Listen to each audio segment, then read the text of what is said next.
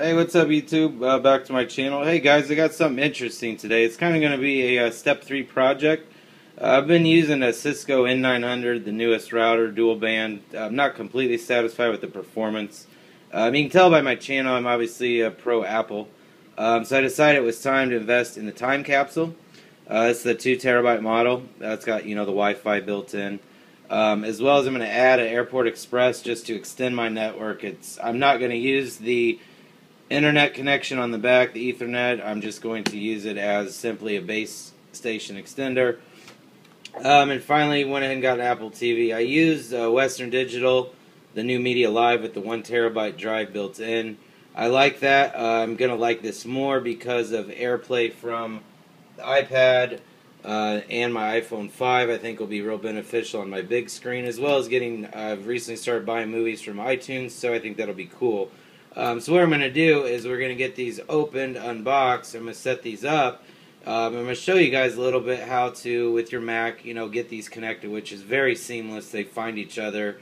Um, there's just a few configuration, password, um, and that's really about it. Uh, we'll get the Apple TV set up, and then we'll uh, do a few demos like AirPlay, um, how the Airport Express hooked up as a base station um, as well as the overall time capsule, uh, you know, like performance, reviews, specs, things like that. Um, and like I said, uh, this is part one, just kind of an intro, what we got, um, the project, where we're headed. Uh, we're going to add that to all this creation, which, you know, was, um, like I said, the Mac Mini um, and the Retina, newest 15-inch MacBook, um, the newest Mac Mini with the i7.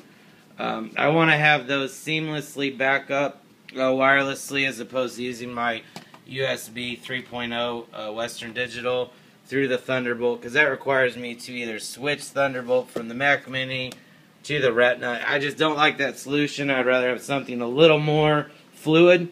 Um, and I think Apple delivered it with this product. Price on it, I certainly hope. It is a full featured uh, Airport Extreme Wireless dual band, so that will be nice.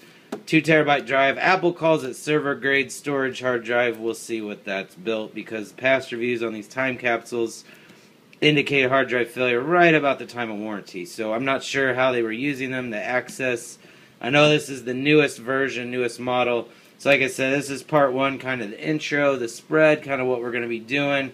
Uh, part two, we'll get into the unboxing. Uh, part three will be kind of the setup, and part four will be our post setup you know, specs, reviews, features, AirPlay, kind of just how it's been working. So uh, be looking for that. Uh, please subscribe, and thank you.